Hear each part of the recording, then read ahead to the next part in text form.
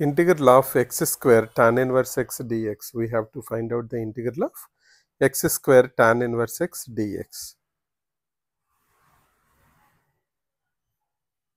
Now we will use integration by parts to solve this problem since we have product of two integrals here. Now which function we have to take as second function? Which one function we have to take it as first function? The function which can be integrated so that function will take it as second function. So our second function will be this and this will be our first function because I cannot uh, integrate tan inverse x directly. So let's go ahead.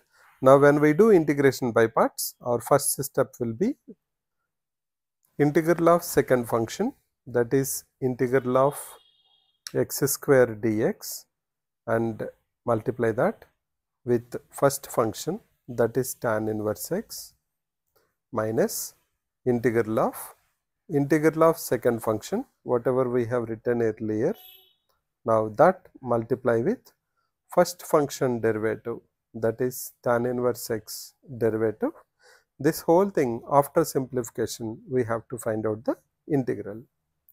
Let us write down that will be equal to x cube by 3 integral of x square into tan inverse x minus integral of x square is 1 by 3 x cube or x cube by 3. So, x cube divided by what is derivative of tan inverse x 1 by 1 plus x square dx. So, we have to find out now integral of x cube by 1 plus x square dx. To do that let us take x square plus 1 equals to t.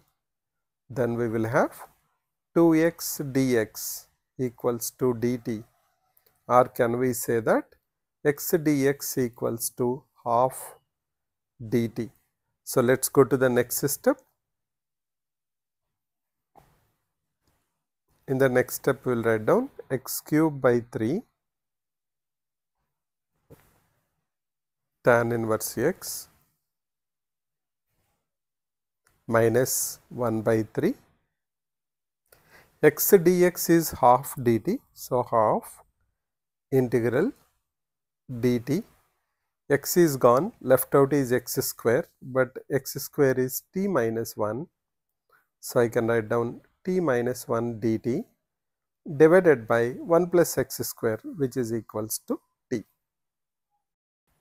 in the next step we can write down this is equals to x cube by 3 tan inverse x minus 1 by 6 integral of t by t 1 minus 1 by t dt.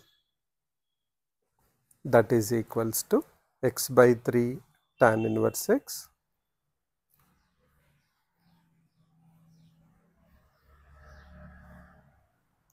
minus 1 by 6 integral of dt plus 1 by 6 integral of 1 by t dt. Let us go to the next step. In the next step, we will have x by x cube by 3 tan inverse x minus 1 by 6 integral of dt is t plus 1 by 6 integral of 1 by t is log t plus C that is equals to x cube by 3 tan inverse x minus 1 by 6 into what is our t 1 plus x square plus 1 by 6 logarithm of 1 plus x square natural logarithm plus c. If we want we can remove this 1 by 6 because it will go and become part of our constant. So, we can change it as x cube by 3 tan inverse x